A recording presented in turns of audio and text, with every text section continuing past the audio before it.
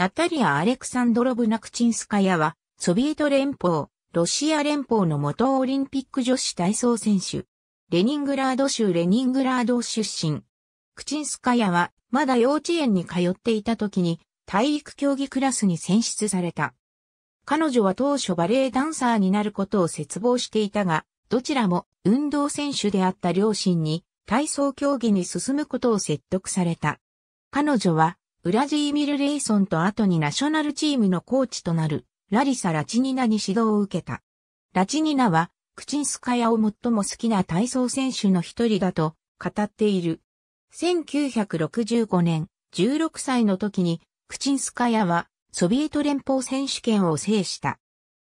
翌1966年は国内選手権に連覇し、ソビエト連邦杯と世界選手権予選試合にも優勝した後、第16回世界体操競技選手権では、種目別4種目中3種目で金メダル、跳馬で銅メダルを獲得し、個人総合でも2位に食い込んで、一躍、ソビエトチームのスター選手の一人となった。クチンスカヤの快進撃は1967年も続いた。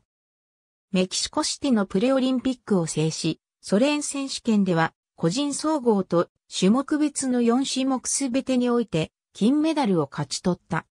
1968年メキシコシティオリンピックの時点では、クチンスカヤはソ連チームで最も有名な選手であった。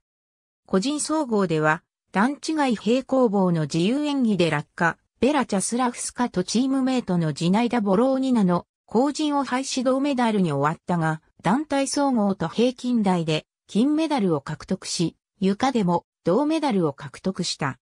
彼女はメキシコシティ滞在中に感銘を受けた報道陣からメキシコの花嫁、メキシコの恋人と呼ばれ、ナタリーというフォークソングが捧げられた。オリンピックはクチンスカヤの最後の試合となった。